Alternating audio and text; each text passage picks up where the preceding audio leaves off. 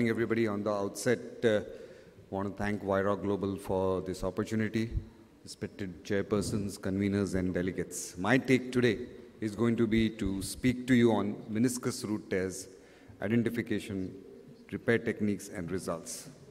We all know that the posterior horn root tears are more common than the anterior.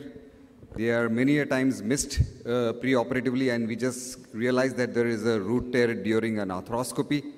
And if these are untreated, then we all know it can lead to osteoarthritis. The posterior horn uh, medial uh, meniscus is located 9.6 millimeters posterior and 0.57 0.7 millimeters lateral to the medial tibial eminence, which is just adjacent to the PCL ligament. This is a good landmark for doing the repair. And the posterior uh, root of the lateral meniscus has a broader attachment located 4.2 millimeters medial and 1.5 millimeters posterior to the lateral tibial eminence. And this is again uh, by LaPrade. Whenever we are thinking of root tears, always have a high level of suspicions. Many a times they are missed preoperatively, but if a patient has uh, posterior pain on deep flexion, then you should think of it. Pivot is usually more positive. Patient just has a ACL tear, but if he has an explosive pivot, then you should think of a root tear.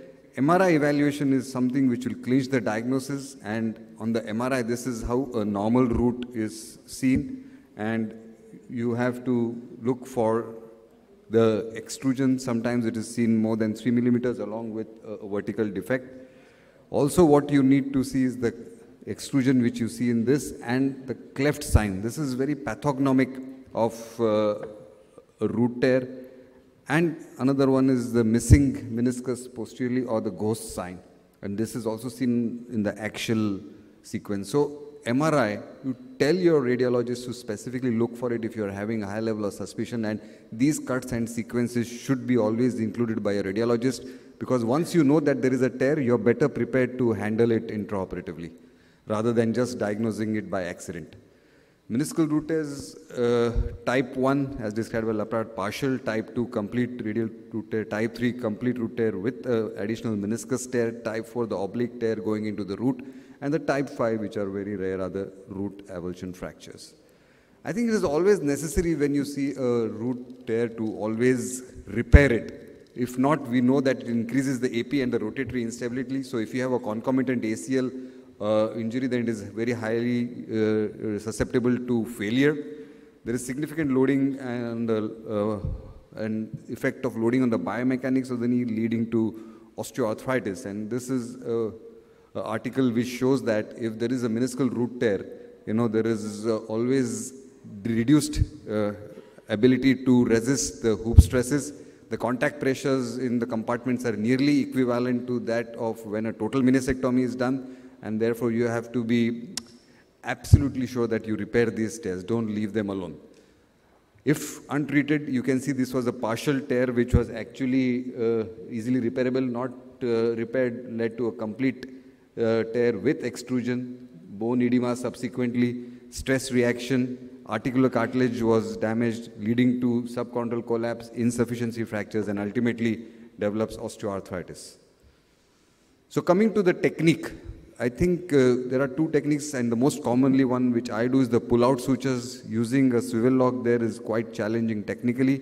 And in the pull-out sutures, we have the one tunnel and the two tunnel technique, I think, but it is easier to do a one tunnel technique and it's quite uh, uh, easy. You have to have the special equipment. You know, our regular ACL jigs, as you can see, they have uh, a difficulty because this is the tip aimer and you cannot pass it in the limited space. So use a low profile jig like this where you can go into the posterior space. That is very, very important. You should always have a Scorpio. I like a Scorpio better than the Accupass, uh, which is from the Accuflex, because it's just one bite, two bites, you get it done, and then iStorm from your shoulder colleagues, fiber wire, fiber tape, and you should have a cannula, uh, and I'll tell you why in a minute. So these are the various steps, uh, probing, preparing, retrying the sutures, and tying of the tibia, and I'll take you through these steps in this video. As you can see, the root tear is seen. This is the lateral meniscus uh, and if there is an ACL tear, it becomes easy to see. Then you put your low profile ACL jig. And this is a very, very important step because where your guide wire exits is where you have to be in the exact anatomical location. That's where your repair is going to sit. Pass the passing suture, pull it out to the anterolateral portal. Then you take your Scorpio. I like the Scorpio. Take two good robust bites and this is again a critical step. And when you're coming out with the needle you have to make sure there is no cartilage. Otherwise your needle will not come out and it at times can break also. So keep it free. If required on the medial side you can do uh, release of the MCL also then take two robust sutures about 3 to 4 millimeters away from each other and then you retrieve all of them through the anterolateral portal. These are the two sutures to the meniscus and this is the passing suture this is very important. And then you pull out all the two sutures through the passing suture on the tibia, pull it over a free endo button.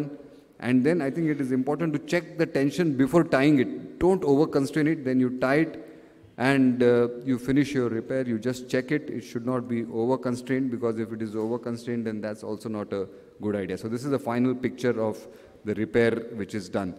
And this is uh, the final X-ray. The sequence is very important. Do the tunnels for uh, the ACL, then pass your graft, uh, then, no, sorry, do the tunnels for the ACL, then do the repair, the tibial tunnel, pull out sutures, repair the complete lateral meniscus, then pass your ACL graft, fix it. I think the uh, lateral meniscus or a medial meniscus root repair with an ACL. The post-op rehab here is very critical, non-weight bearing for four weeks, toe touch weight bearing and full weight bearing by eight weeks, four to eight weeks.